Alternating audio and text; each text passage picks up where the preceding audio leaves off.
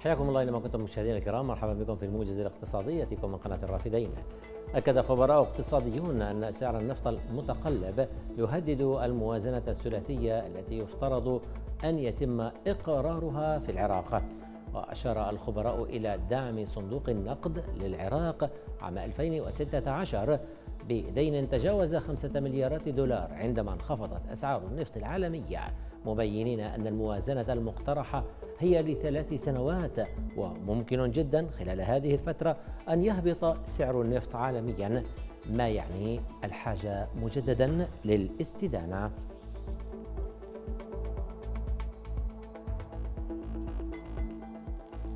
قالت مصادر صحفية إن صندوق النقد الدولي يعتبر جهة استشارية للحكومات ومنها الحكومة في العراق لذلك هو يحذر من مخاطر التمادي في اعتماد سياسة الإنفاق الكبيرة.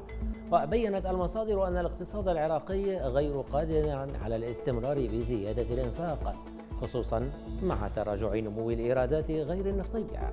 مضيفة أن الاقتصاد العراقي سيدخل في أزمة معقدة جدا خلال فترة قصيرة عندما تتراجع أسعار النفط دون 50 دولارا للبرميل.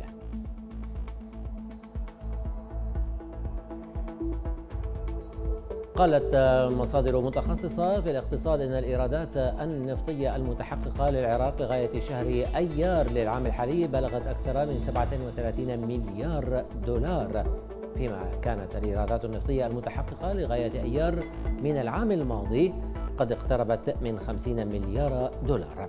هذا وبينت المصادر أن الانخفاض في الإيرادات النفطية خلال هاتين المدتين قد بلغ نحو 13 مليار دولار مشيرين إلى أن نسبة الانخفاض بين هاتين المدتين بلغت 34%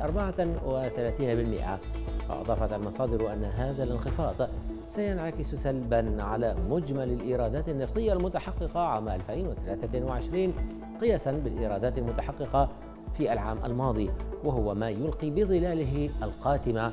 على موازنة 2023 المثقلة أصلا بالعجز الكبير الذي يعتمد أساسا أو التي تعتمد أساسا في إيراداتها العامة على الإيرادات النفطية.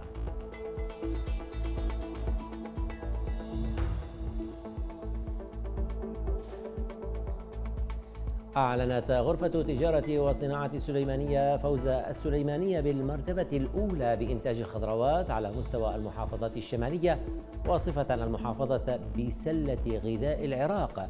وقالت غرفة تجارة وصناعة السليمانية إن المحافظة فازت بالمرتبة الأولى بإنتاج الخضروات بعد وصولها إلى الاكتفاء الذاتي. نتيجة استخدام أكثر من 22 ألف بيت بلاستيكي إضافة إلى المنتجات الحيوانية في بنجوين وشارزور وكريميان وإنشاء 1250 مزرعة دواجن في السليمانية بإنتاج ضخم يقدر بضعف احتياجات المدينة.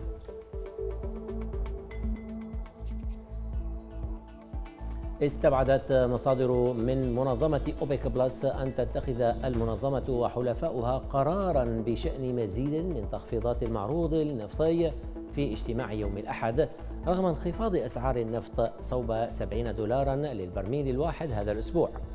وتضخ أوبك بلس التي تضم أوبك وحلفاء بقيادة روسيا نحو 40% من الإنتاج العالمي مما يعني أن لقراراتها تأثيرا كبيرا على أسعار النفط.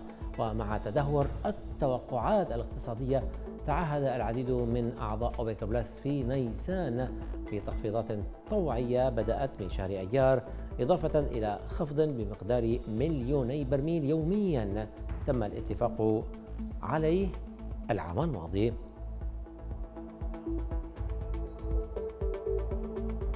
والآن هذه انتقالة سريعة مشاهدينا الكرام إلى أسعار صرف العملات الأجنبية وأسعار المعادن.